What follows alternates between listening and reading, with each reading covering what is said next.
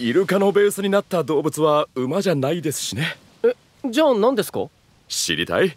じゃあ問題。どの子がベースでしょうか？A アザラシ。B 渡り鳥。C カバ。アザラシですかね。残念。答えは？C のカバでした。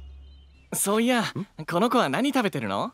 あえっ、ー、とイカとか。この星の